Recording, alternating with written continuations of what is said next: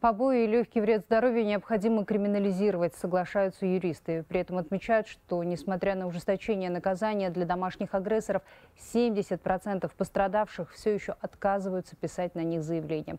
Правозащитники призывают незамедлительно обращаться в компетентные органы и самих пострадавших, и свидетелей бытовых конфликтов. Ужесточать не стоит, необходимо э, криминализировать э, легкий вред здоровью и побои криминализировать, они декриминализированы.